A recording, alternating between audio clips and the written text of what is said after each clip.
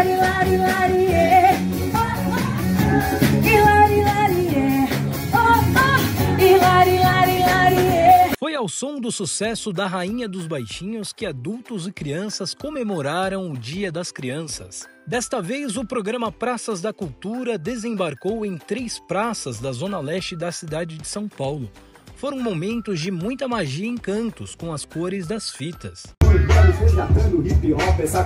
E quem imaginou os super-heróis dançando rap?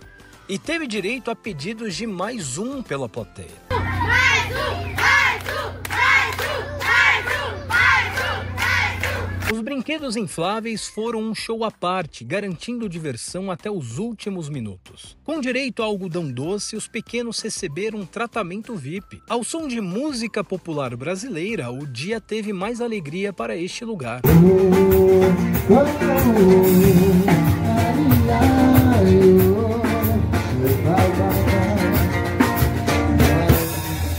E nada melhor que encerrar as apresentações ao som de um clássico.